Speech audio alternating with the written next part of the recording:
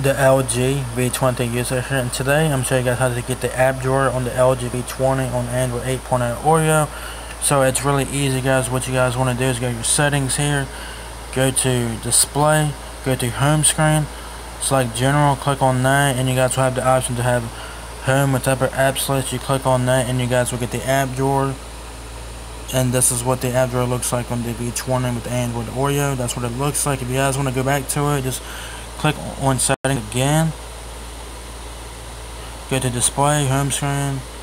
General click on that and you guys will click on home again and it'll put your apps back on the home screen guys. So that's how it is on Android 8.0 Oreo not much different than what it was on Android Nougat for the V20 so pretty much the same process. So if you guys enjoyed this video give me a thumbs up guys. It really helps me out a lot.